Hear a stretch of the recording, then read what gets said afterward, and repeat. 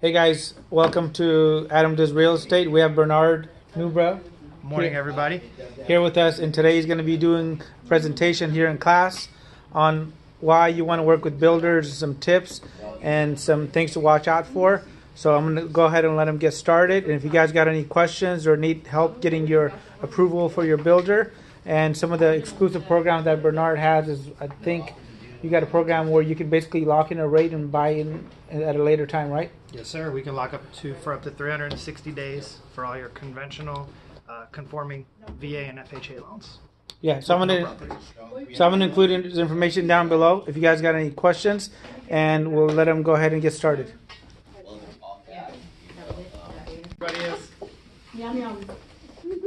Go ahead and yourself. Good morning, everybody. My name is Bernard from Homebridge uh, in Pleasanton office. I'm actually one of the builder sales managers um, for the uh, so so the builder team uh, here in the Bay Area. Um, I actually support one of the largest builders here in the San Francisco Bay Area. Uh, a lot of you have probably been into the communities before, um, and I support them as their primary lender. Um, what I mean by primary lender is I sit on site on the communities uh, on the weekends and pre-qualify every buyer who is looking to make a prospective offer with that builder. Um, part of the reason I wanted to come in today was to talk to you guys a little bit about the benefits of new construction because I see it every day where we get agents who bring buyers in for one reason or another. The buyer wants to, they're flopping back and forth between resale and new construction. Um, but what I think a lot of agents don't catch is the benefits of. Um, so some of those benefits I wanted to roll into are the paperwork. You guys don't, the buyer's agents don't do anything. Half the time you come in, you sign a form, you can walk through with your clients if you want to, but 90% of the time you're on your way. Um, assisting with financing, that's where I would come into play with, with my particular builder. Me or one of my, my teammates would come in, sit with the borrower, um, and, issue a pre-approval for them to purchase that home. The special thing about my relationship with my builder is that my builder does not require us to solely focus or to solely work on their new new construction projects. So if your buyer approves with me, they're not only approved for every one of their communities, but they're also approved to go do whatever they want to do as well. As much as I would love to see them come back and purchase one of my new new homes, but the buyer does have a valid pre-approval. Um, providing property data again. If you look at where you're spending most of your time with your buyers, you're you're you're going out. You're showing 40 homes. You're writing 50 offers to be told no 50 times. The buy, the builder's agents do all this for you. Literally, you walk in, sign your client in, walk them through the models if you want, and then you're on your way. Um, explaining forms and agreements. That's something you can go over the sales contract with the borrower if you want to. But again, not needed. The builder has their own product, their own forms that they use to go over everything with that borrower. So it's not a standard car form that's being used for new construction. Um, as far as the property data, the builder sales agent again is going to provide most of that. Some of the important questions I always ask in new communities is what's your tax rate, your Mello-Roos. Um, schools are obviously a big one to look at, depending on where you're looking at and what you're wanting to do, just for more client community information. Um, as far as getting paid the big buck, the big bucks and negotiating upgrades, getting paid the big the big bucks is the million dollar question. Um, obviously, every builder is going to have a different uh, commission or referral fee that they're going to pay to the agents for, for bringing in the borrower. So that's obviously a big question. Um, but I would also encourage all, a lot of you guys as agents to remember to do what's right for your clients, um, which is hard to say, I understand, or which is hard to understand for a lot of people when we're dealing with income. Um, negotiations on upgrades. This is something I see builders bounce back and forth with. Because remember, right now, they're not desperate to sell homes. They're selling homes faster than they can keep up with the demand of homes. So they're they're not offering any incentive to use preferred lenders. They're not offering any upgrades, and if they are, it's very minimal. Um, but again, uh, remember when your borrowers, when when your clients come in and they do upgrades, they're also increasing their tax bills. So just give your client the heads up. You know, do do the things you have to have, not the stuff you want as a, uh, as, a as a luxury. I like to say. So Bernard, I have a question. So if I'm working with a with a buyer, uh, and I know they're ninety percent convinced on resale property, should I go take them into the new construction properties regardless? Definitely. Why would I want to do that? Because you really won't want to do that to protect yourself. Because what if your borrower walks into that property and you're not there, And, and, and do, we sell them a house? and do sometimes besides protecting yourself, do some uh, buyers just don't even? Uh, some buyers don't even entertain the option of maybe new construction, it's, uh, because they don't know it's available, right? So have you seen where somebody does walk in with just to sign up their their buyer, and the buyer actually loves the community and wants to buy that All the time. community, not resell? all the time. Um, I think it's. I think once once you you you show a buyer what their options are, they'll make the decision of what they want to do. Um, and I think a lot of a lot of clients don't know their real estate agent can help out with new construction homes. And so with new construction on there, like what does a buyer get that they don't get in a resale? Is there a special warranty? Any of that? So my favorite thing about new construction is I like to compare it to buying a pair of shoes. You walk in the community, you walk through the models you like, you find the one you like, then you find the location of the home, you write it, you make an offer, you write a check, and the home comes off the market instantly. There's no back and forth with the seller. There's no 50 multi, There's no multiple offers. There's no there. It really is a simplified process to buying a home. Okay. Uh, and then as far as the, is there a special warranty that standard comes on? So the builder, the builders do offer new construction warranties. Each builder is different. Um, I've seen a lot of them offer the, I think it's a ten-year warranty on um, on plumbing and whatnot.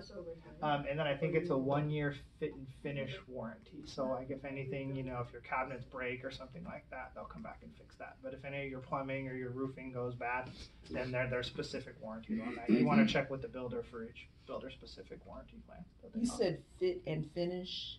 fit and finish. Uh-huh. So it'd be like um, if uh, if one of my cabinets fell off, Okay, the door. then the builder would come out and, and, and replace it. Thank you. And if you're not make, able to actually lock your buyer in, do some communities allow you to go ahead and sign your buyer in and then uh, and email them for confirmation? Have you seen that happen before? I see it happen. Typically, what happens is the agent will call and make an appointment. And then at that point, we'll schedule them. You know, we'll go ahead and schedule the the appointment for them to come in. At some point, the agent does have to come in and sign the sign, sign the book and all that good stuff. Okay, got it. And then can if uh, somebody walks into a new construction site, can they use their existing lender if they prefer to? So the, the the way it works with with a lot of the builders is that you have to pre-qualify with their preferred lender. You can use your lender if you want to. However, there is always perks to using the preferred lender. Um, and I say those perks because I come up against this every day.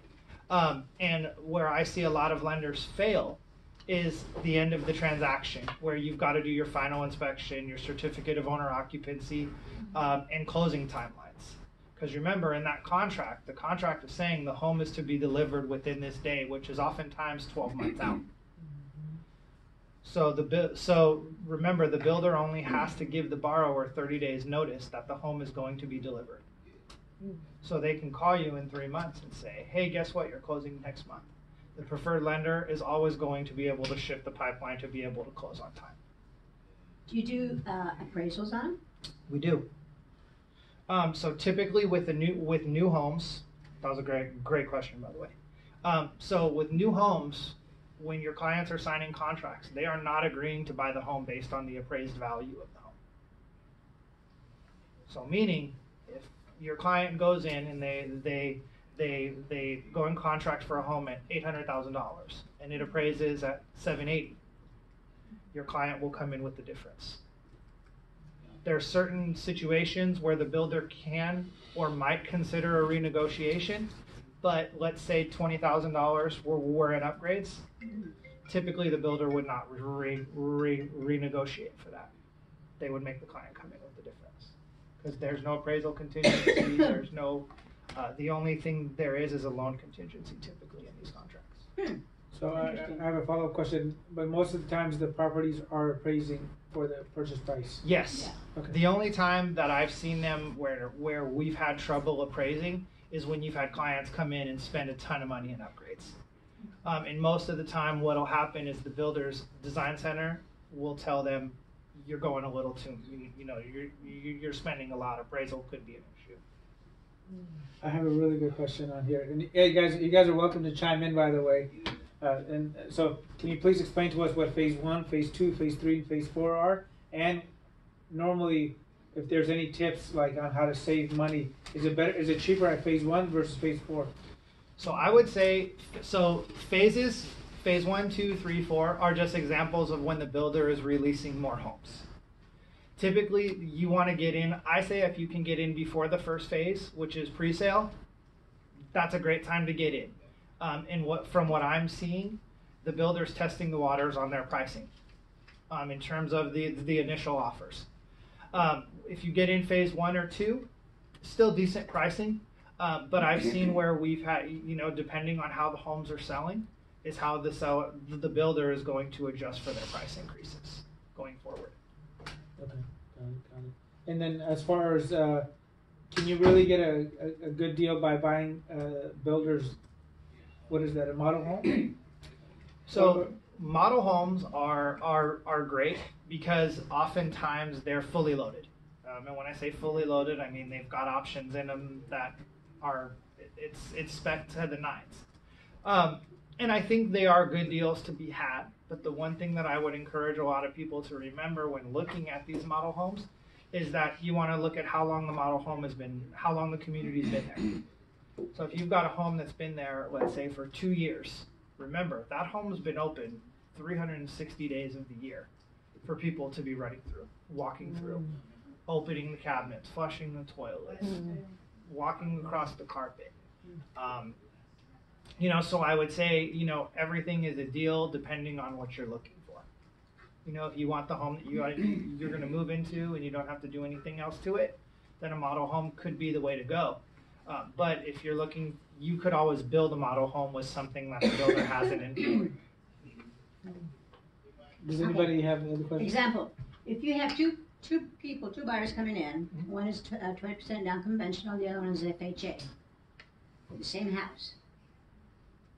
Which one, are you going to make, uh, who are you gonna pay more attention to?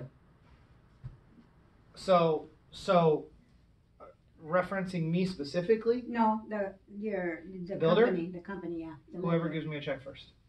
Really? Because once once I once we pre-qualify someone for a house, Mm-hmm, and once they're right, once they've sat down and started to write the offer, okay, the house comes off the market. Good job, good job, good answer. So, guys, what Bill, what Bernard is basically trying to say is you could save that multiple offer situation, having to show uh, countless homes and writing countless offers. You could walk them into a builder and sign them up, and if they're looking in Vacaville, take them to all five builders in the area, and your buyer would be really impressed that you're giving them the option because they never even thought about it.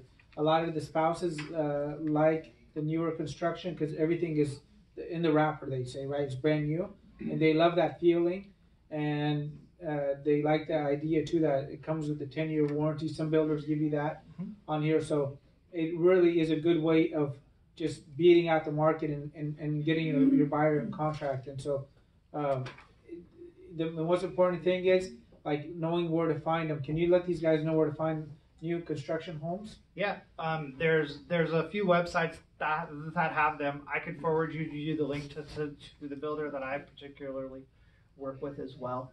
Um, with my particular builder, my we have three preferred lenders that work with us. If you approve with anyone on my team, you can use that at any one of the communities as well. So I'd be more than happy to send that over to you. Cool. Well, thank you, Bernard. I'm gonna have Thank you. Bernard's information down below on here, and uh, please let him know if you have any questions. Bernard, do you want to say anything? Thank you.